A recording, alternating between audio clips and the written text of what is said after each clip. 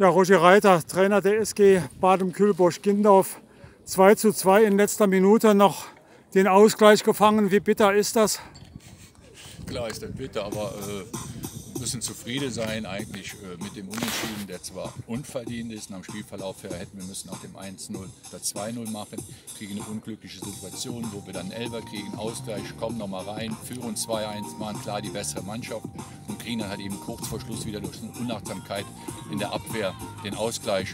Vor dem Spiel hätte man gesagt, okay, ein Punkt ist gut, nach dem Spiel müssen wir sagen, haben zwei Punkte verloren.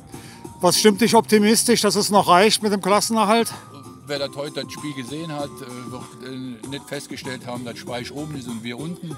Wir haben auch gegen Radingen waren wir die bessere Mannschaft.